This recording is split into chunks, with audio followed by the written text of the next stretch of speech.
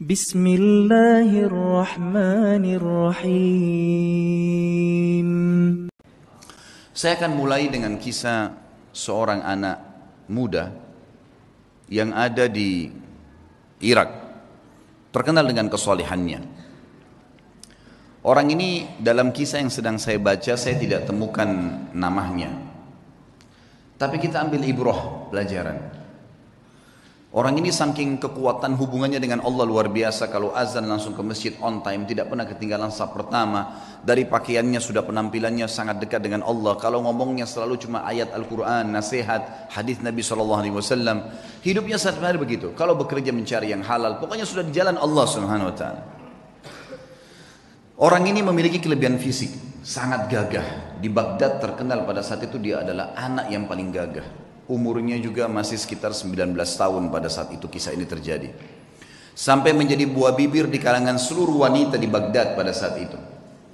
Berharap wanita bisa ngobrol saja sama dia karena luar biasa. Tampannya, orangnya santun, sampai dikejar-kejar. Yang terjadi saudaraku, ada satu wanita kaya, seorang istri pejabat pada saat itu terkenal dengan kecantikannya, kekayaannya. Semua laki-laki juga mengejar dia. Karena kelebihan fisik yang dia miliki. Dia berkata kepada orang di sekitarnya, saya akan menaklukkan laki-laki itu. Dan pasti dia akan berzina dengan saya. Yang terjadi saudaraku dibuatlah sebuah tipu daya syaitan di depan rumah orang ini, perempuan ini, kebetulan waktu suaminya lagi pergi bertugas keluar kota dan zaman dulu orang kalau tugas berbulan-bulan dan Allah alam bisa kembali atau tidak.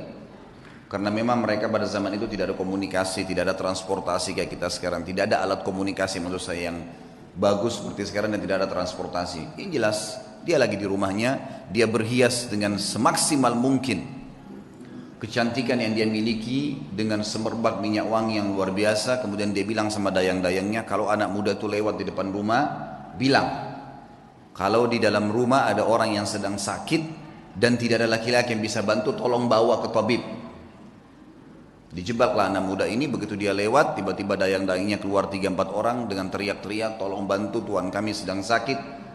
Sampai akhirnya tidak ada laki-laki dan tolong bantulah. Akhirnya si laki-laki ini masuk ke dalam rumah tersebut Waktu dia masuk dalam rumah tersebut saudaraku seiman Maka yang terjadi adalah ya, Yang terjadi pada saat itu Ditutup pintu Kemudian si perempuan yang tadi licik ini berkata Kalau kau tidak mau berzina dengan saya Saya akan teriak bahwasanya kau sengaja datang untuk mengganggu saya di rumah saya. Dijebak. Waktu itu rumah semua berdekatan Sedikit teriakan sudah kedengar. Serba salah Apa yang harus dia lakukan terjebak di sebuah ruangan rumah dengan wanita yang sempurna, terjebak di sebuah ruangan wanita di depan matanya dengan kesempurnaan cantik, kaya, punya jabatan, tinggal minta dia berzina saja. Hanya itu. Dia bisa menikmati, dia bisa mendapatkan harta dan seterusnya. Tapi saudaraku orang yang sudah mengenal Tuhannya Allah berbeda.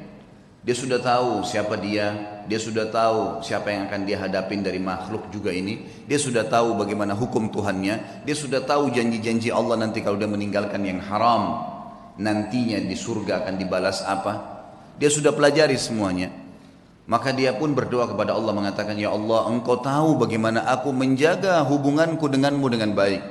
Dan dari dulu aku sudah selalu digoda untuk melakukan hubungan dengan lawan jenis dan aku selalu menahannya.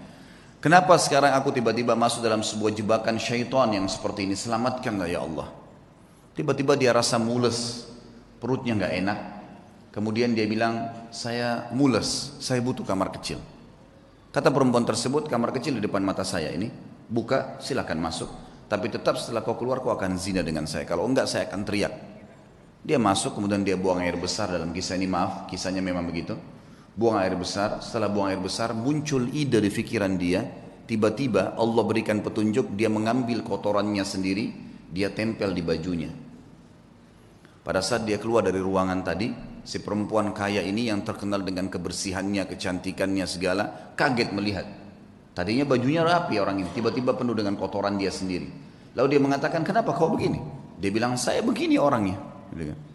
Inilah yang sedang terjadi sekarang. Maka kalau kau memang mau berzina, saya orangnya sudah seperti ini. Ini kotoran di badan saya. Akhirnya perempuan tersebut mengatakan keluarkan laki-laki, laki-laki ini jorok dan kotor. Dikeluarkan dari perempuan tadi dan dia begitu keluar di depan rumah perempuan tadi sujud syukur kepada Allah selamat dari zina. Bagaimana seseorang kalau tahu dan mengenal Tuhannya, dia akan menyelamatkan dirinya dari dosa, bukan cuma terjerumus, sudah terjebak masih bisa lari, teman-teman sekalian. Betapa lemahnya banyak orang di antara kita bukan cuma dijebak, dianya sengaja jerumuskan dirinya. Padahal sabda Nabi SAW jelas dalam hadis Bukhari. Kalau seseorang hamba berbuat dosa, satu dosa kecil, tertetes di dalam hatinya titik warna hitam, kelam. Kata ulama hadis begini, maksudnya apa tetesan hitam itu? Dia akan merasa beberapa hari ke depan hidupnya gelap hidupnya sulit dengan satu dosa kecil. Hidupnya sulit, kelam, banyak pintu-pintu rezeki yang masih tertutup sampai titik hitam itu bersih. Apa kata Ibnu Umar radhiyallahu anhu? Aku mengetahui beratnya dosa kecil yang aku lakukan. Akar zam, dosa yang paling kecil mungkin kita cuma melihat sesuatu yang biasa, mungkin cuma sekedar dengar sesuatu yang tidak disengaja. Saya tahu Allah mengharamkan saya sholat berjamaah subuh di masjid sebulan.